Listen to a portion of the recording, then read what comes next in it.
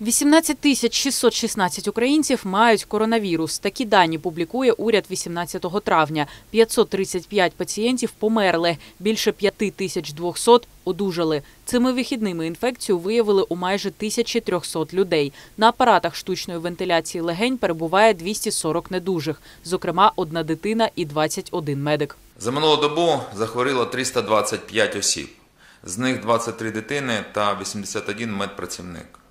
Було госпіталізовано 83 особи. Зафіксовано 21 летальний випадок. При цьому одужало 160 осіб. Найбільша кількість випадків е, захворювання коронавірусної хвороби зареєстрована в нас у віковій групі 60+. Це 24% від усіх захворівших на коронавірусну хворобу. І 66% усіх летальних випадків, які ми маємо сьогодні, е, в нас зареєстровано саме серед цієї вікової групи.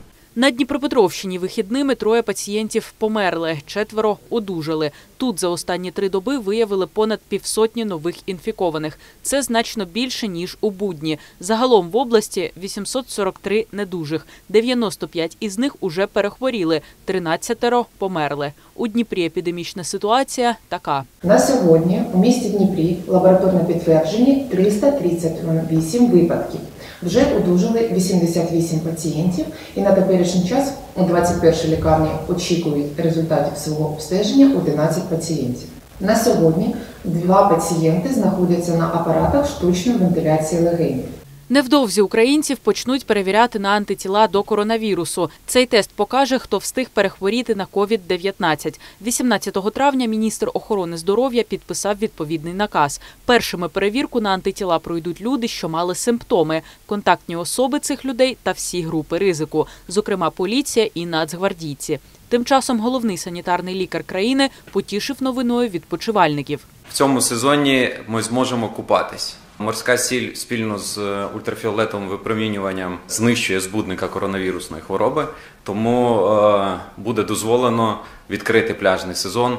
Відкриють для відпочинку і річкові узбережжя, бо в проточній, хоча й прісній воді, ризик зараження мінімальний. Коли саме стартує пляжний сезон, Віктор Ляшко не сказав, але зазначив, людям із хронічними хворобами та людям старшим за 60 років відвідувати пляжі не можна. Для решти обов'язкові дистанція у 2 метри і правила особистої гігієни. Торкнеться послаблення карантину і абітурієнтів. Дати ЗНО і досі невідомі. Натомість для його проведення Міністерство охорони здоров'я вже підготувало проєкт протиепідемічних норм. Цей проект сьогодні на сайті Міністерства охорони здоров'я буде розміщений для громадського обговорення. За попередніми прогнозами, вступна кампанія цього року стартує 1 серпня. Документи почнуть приймати із 13-го, а списки рекомендованих для зарахування оприлюднять до 27-го числа.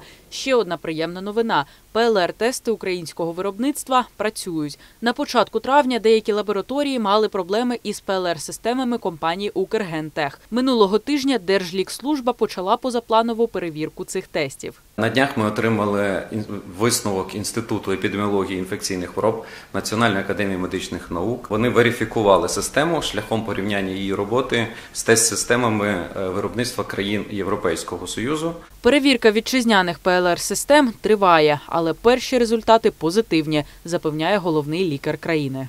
Юлія Бублик, Аліна Алівтєрова. Новини 9 каналу.